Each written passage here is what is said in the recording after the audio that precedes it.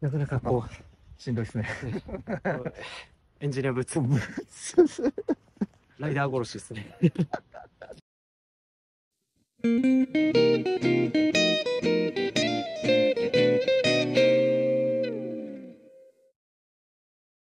サウンドナインチャンネルをご覧の皆様、こんにちは。本日、道の駅の旅、第4弾。はい、続きまして、このシリーズも、なんだかんだで第4弾になりました。で、今日はあの4月の4日ということで、4月といえば、桜ですね。桜といえば、薄墨桜。ついにこの季節がやってきました。ただ、今年例年より桜咲くの早くて、今日も限界だと思ってます。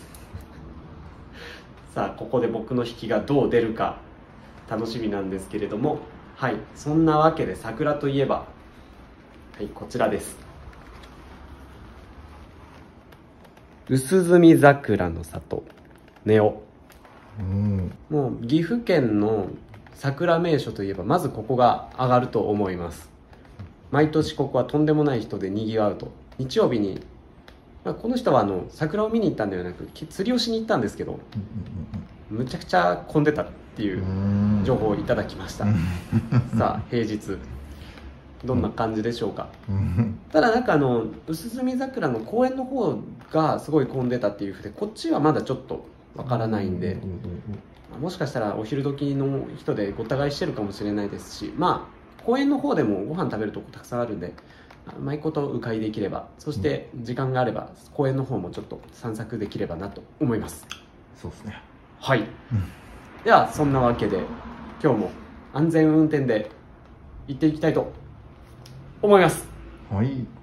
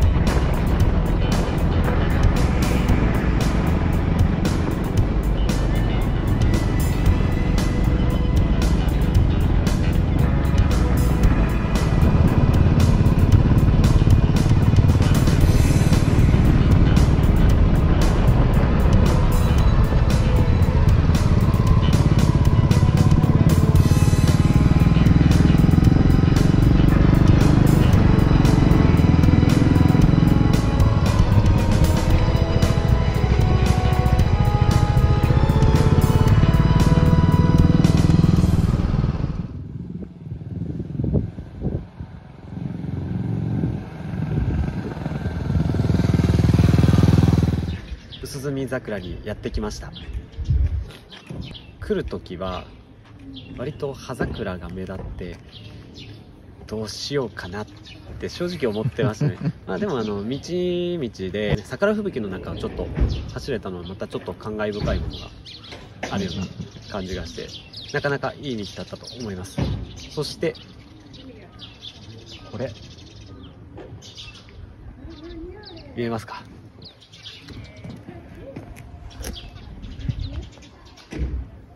この綺麗な桜が。よかったね。よかった。まあまあまあでももともとが限界突破をするっていうようなツーリングだったんで、まあ、禅王様もおたまげなんじゃないでしょうか。わかります？ちょっとよくわかんないです。嘘。限界突破サバイバー知らない。ですかあの、ドラゴンボールの話ねあ。そうそうそうドラゴンボールスーパーの話ですはいまあそんなしょうもない話はいいとして あとこれカメラで映りますかねどうなんだろう。あとこのあの桜吹雪あーね。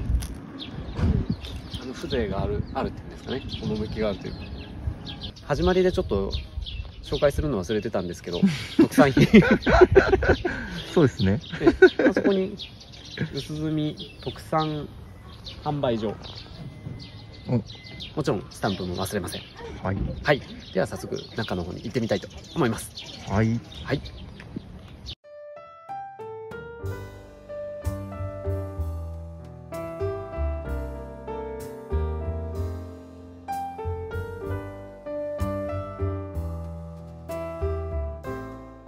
はい、ではあの今道の駅で特産品をちょっと買ってきました。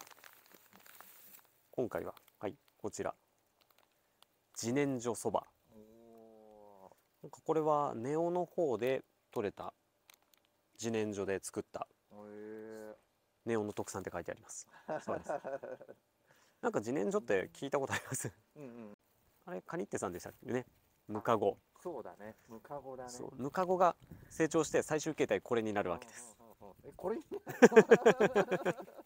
そうです。最後の加工はここになるわけです。ネオ産土地餅こっち？餅。なんか土地の実があの入った餅でなんか地元の方が手作りで作られてるっていうふうで何かいるすごい柔らかいです。まだ今日つきたてらしくて。うんうん。でこの無添加なのがよくわかる。4月8日短い。短いあこんなあの感じで自然な自然あふれたお土産をいただきましたので、はい。はい、ではこれから恒例のスタンプ大会に行ってみたいと思います、はい。はい、では早速スタンプいただきたいと思います。とおあともくん3つ。贅沢どころじゃないですよ。贅沢押しトリプル。あここは赤い。えちょっとこれむず押すの難しいですね。難しい。バランス。じゃあいきますよ。じゃあちょっとこの辺でせーの。ほい。あちょっと薄かった。あなんかちょっと違うっぽいっす。でも短い。えちょっと短いな。アウチよいしょ。ほい。おおかぶった。じゃあこれ3つ目。ジャフって書いてある。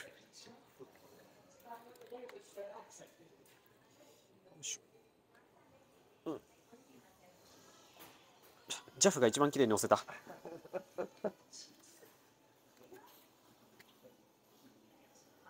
はい。こんな感じで。うん、やっぱまあこの象徴的な薄墨桜の薄墨桜公園にあるやつですね。はいこんな感じで。これでスタンプ。4つ目 ?5 つ目？あそれぐらいです。はいそんなわけで今回もいただきました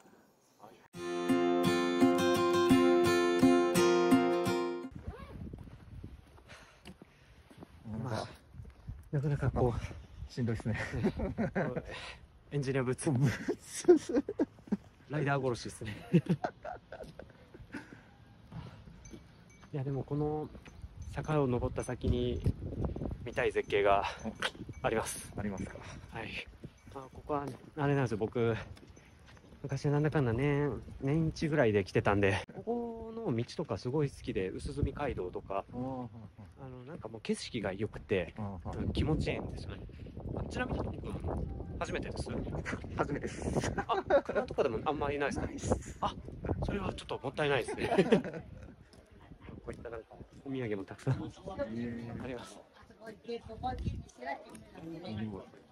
こんな感じなんだ。そうなんですよ。すごいね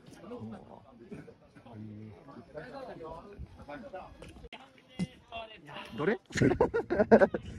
どれ？えあれあれあれ？ああしょうがないですね今年はあでもあのほらあれだけじゃないんで、まあ、こっちもこっちもそうですね。そうですね。南浦公園いい場所です まあでもやっぱ近くで見るとでかいっすね。でかいっすよそうなんか昔この木もなんか手術とかして生きながらえてるはずなんですよ確か。確かですよ、まあ、それだけこの歴史が深い。木になるんですけど、いやでも、うん、葉桜なの残念ですけど、まあ、また本当に来て、まあ、そんな時多分もっと人いっぱいで えらいことにはなってると思うんですけど、はい。そうだね。そうまあ、だね。また来年の目標ということで リベンジが必要リベンジがはい。いろいろリベンジ必要です まあでも言うても、うんまだ桜はそうですね。あ。ります、うんうんうんうん。いやでもいい天気でいいっすね。だって本来いつもここむちゃくちゃ寒いですもん。うん。寒 い寒いって言いながら桜見てるのうんが毎年のことなんで、あったかいもんね。あったかいんですよしかも僕あの混むの嫌だったんで 毎年ここ朝の9時ぐらいにいるんですよここに。9 9時10時とか。早いね。そうなんですそれでももう人いっぱいいるんで。へそうなんですうん。いやなんかまたあれですねサウンドナインのツーリングクラブでもこういうとこにも来れたらきっと楽しいですね。いいっすね。うんうん道が良かったね。あそうそうそう。間違いにくい。そこじゃない。大事なとこだ。ただそこじゃない。